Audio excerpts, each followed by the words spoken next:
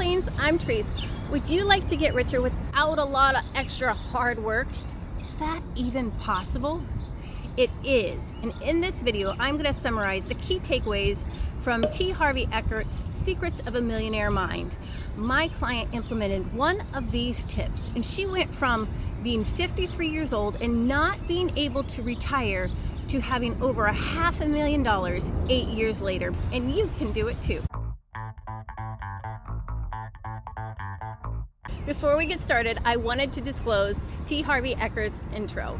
He says, Do not take my word as gospel. Give it a try and see if you can see the changes. If it doesn't work for you, throw it out with the bathwater.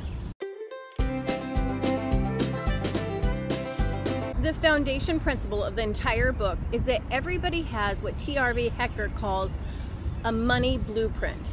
It is a subconscious way of being and thinking and doing around money that you absorbed through osmosis through what you saw and heard growing up. And it's this subconscious conditioning that is running your life. So he encourages you to look around. Do you like the financial the reality that you see? And if you don't, it's simply the way you've been thinking about your money that needs to change. Let me illustrate an example of this. When my clients start, I have them fill out this paperwork. What did you hear about money growing up? How do your parents think about money? And through this unveiling process, I saw on his paperwork that his brother told him that if you move to New York City, then just expect to be in debt. So, what do you think I found when I did his statement of financial position to measure his net worth? His starting net worth was negative 14,000 and zero in investments. Fast forward a handful of years, he lives in the same place, does the same type of work, nothing has changed in that regard, but now his net worth is over a $100,000 in investments. Now, how did he let go of that thought? Did it change overnight? Absolutely not. But the first step is consciousness, becoming aware of it. If he had never seen it, it still would be a crux in his claw. The second thing is disassociating from it by looking for different perspectives. When that came to light, I said to him, Is this really true? And he's like, Yeah, my brother's in debt. I'm in debt. Everybody I know is in debt. I'm like, I'm not in debt. And this person that you know is not in debt. And they live in New York City. I started opening up possibilities. We were both bartenders at the time, and I had just started my business. He could identify as equal to me. He's like, If she can do it, I can do it. So find somebody that is not a pedestal person, not somebody you're putting on a tower. Find somebody that you identify with that has the new belief that you want to adapt. Now, sometimes it is super difficult to bring these sneaky subconscious thinking patterns to light, but T. Harv Eker is so generous and he gives us 17 ways to reveal them. And I'm going to show you how just doing one of these can make you a half a million dollars. The second half of the book is so helpful in uncovering how we truly think in our subconscious mind. And it's called The Wealth Files 17 different ways of thinking between the rich and the poor and middle class. Now, when I first heard this, I thought, oh my gosh, you're gonna have to be really smart and super intelligent and pretty much a genius. It has nothing to do with intelligence, it's simply thinking that everybody can do. Everybody could do it. My son, who's seven, could do it. Now, what are these secret thinking patterns? One is the rich are excellent receivers, they happily receive stuff as opposed to middle class and poor people have a really hard time accepting stuff. And this was true of my client. When she started, she was 53 and she said, I have no chance of ever retiring. I am behind, girl. I said, Well, let's just work on it. We have nothing to lose. And quickly it came to my notice that she was an excellent gift giver. She loved giving gifts. She was paying for her grown kids' phone bill, but she would never let people give her a gift in return. I said, Darling, money is a team sport. In order to get richer, we have to accept the generosity that flows our way.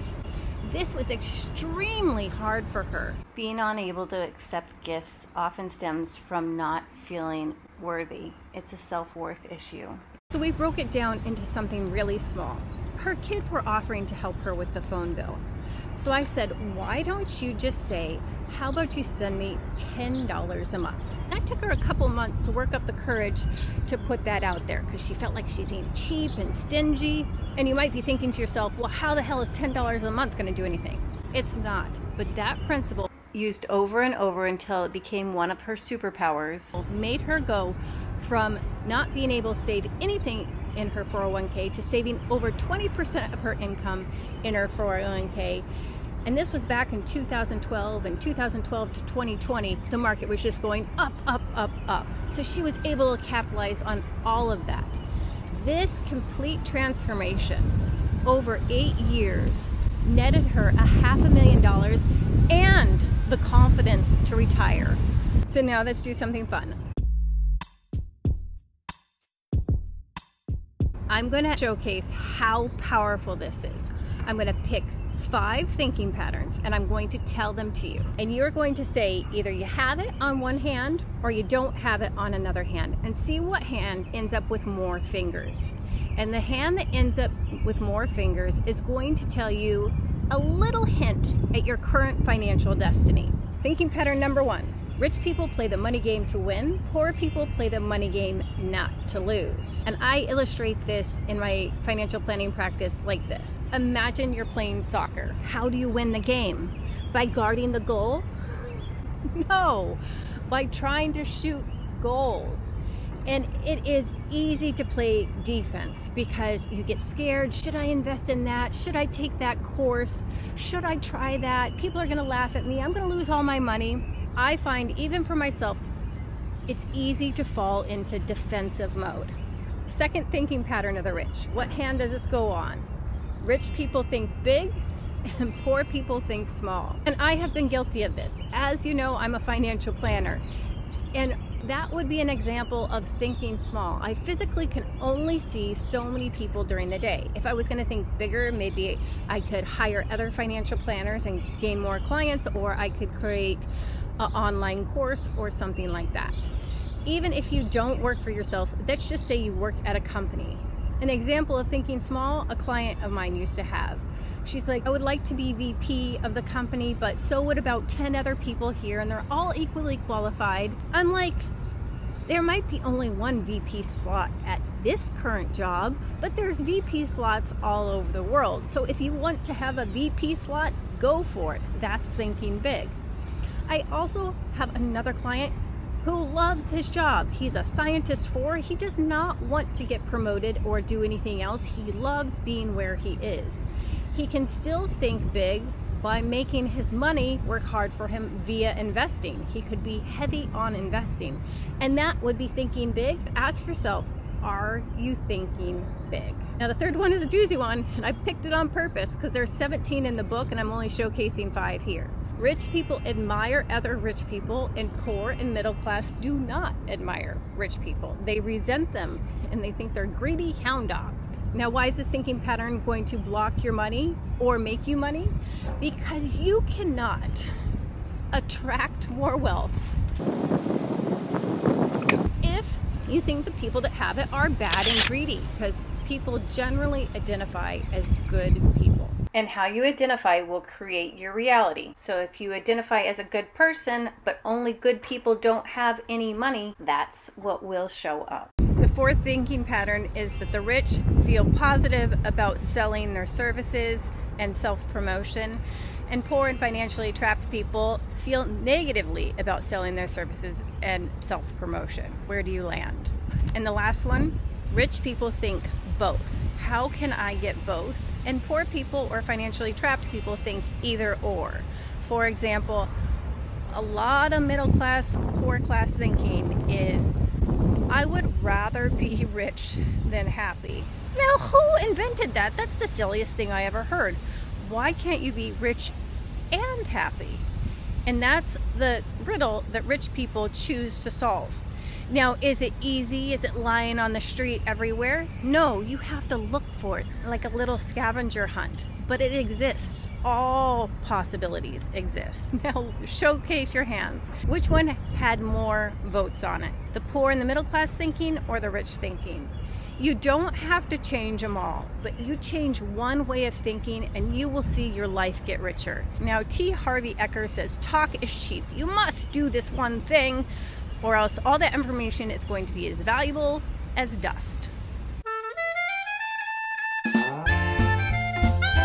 Now, what is the one thing you must do T. Harv Eker has a couple suggestions. He says do the exercises in the book, like write down what did your parents think and feel about money to unearth subconscious ways of thinking that you might have adopted. Also, he recommends declarations. I play to win. I have a millionaire mind, and taking those actions. I also listen to affirmations. I'm making a video that's coming out this Friday with ASMR Secrets of a Millionaire Mind, Wealth Affirmations, so you could just listen to it. It harnesses all 17 of T. Harv Eker's wealth principles. But what I personally advise and what I do for my clients is I say pick one way of thinking. For example, the play to win versus playing not to lose and shift it. I have a client, she started at $50,000 in credit card debt. Didn't get new jobs, they didn't sell their house, their lifestyle is the same, but for the past two years, they've paid $1,400 like clockwork every month. How is that possible? They invoked this principle play to win. They thought there is no way in hell I'm ever going to get out of credit card debt. It's too late. I'm going to either have to declare bankruptcy or get some kind of amazing job. And I'm like, you're giving away your power. That's not playing to win. That's a defeatist attitude. So we simply said, we are winners. How can we do this? Crossed a line in the sand and said, every month we will pay $1,400 to the credit card and then worked backwards into our budget. Was it difficult in the beginning? Did they cry a little bit? Yes. But now, as we are speaking, they have less than $10,000 of credit card debt. They can see the light at the end of the tunnel, and forever, for the rest of their lives, it's going to be like giving themselves a $1,400 a month after tax raise. And it all started simply with the principle of playing to win. Till next time, my darling Earthlings, ciao!